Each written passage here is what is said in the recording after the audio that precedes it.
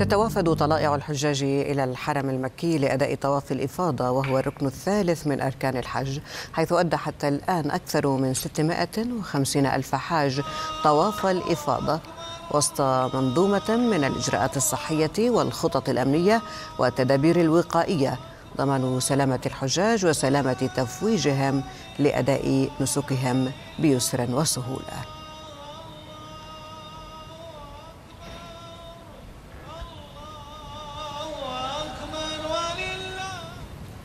من منشأة الجمرات ينضم إلينا موفد الحدث أحمد بقاتو أهلا بك أحمد كل عام وأنت بخير. هل تضعنا في صورة ما يحدث الآن؟ كيف هي الأجواء؟ نعم كل عام وأنت بخير. رشا دعينا نتحدث تفصيليا عن ما يحدث هذا اليوم. نحن الآن في جسر الجمرات كما تشاهدين من خلفي حيث يأتي الحجيج في وفود على أوقات مختلفة ومتعددة للوصول إلى هنا ورمي جمرة العقبة الكبرى. يعني دعينا نشرح كيف تتم هذه العملية. هذا المنظر الذي تشاهدينه والذي تعرضه الكاميرا الآن هؤلاء يأتون كوفد كامل مع مرشد أو مرشدين يحملون اللافتات آه هذه اللافتات هي التي تشير إلى مكان المرشد. يعني يأتي إلى هنا ويقوم بالتجمع كهذا التجمع الذي تشاهدونه الآن. آه يقوم المرشد بإعطائهم كيف ما الذي سيحدث؟ يقومون برمي الجمرات سبع حصيات وبعد ذلك يعودون مرة أخرى إلى هذا المكان. وبعد ذلك ينطلقون إلى رمي الجمرات ويعودون إلى مكان المرشد حيث هذه اللافتة الكبيرة مرة أخرى وحتى لا يضيع هؤلاء الحجيج أو يتوه بعضهم عن بعض. كما تشاهدين الكثير من اللافتات التي يرفعها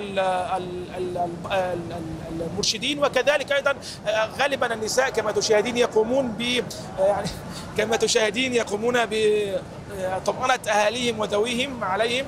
نعم. فرحون للغاية خاصة وأن الكثير منهم يقومون بالحج لأول مرة. هؤلاء حجاج العراق كما تشاهدين حالة من الفرحة الكبيرة. يسيرون مع المرشد هم يتدفقون يعني كفوج واحد. لا يوجد أي شخص يخالف هذا الفوج حتى لا يضيع. هذه الطريقة. وكما تشاهدين أيضا الكثير منهم يرتدون يعني اللون الأزرق أو هذا اللون حتى يعني يعرفون بعضهم البعض. هذا يساعد أيضا مع الشارة المرتفعة على ألا يضيع أحد من الآخر. بالطبع هذا المكان الذي تشاهدينه الأمور فيه تسير بانسيابيه كبيرة.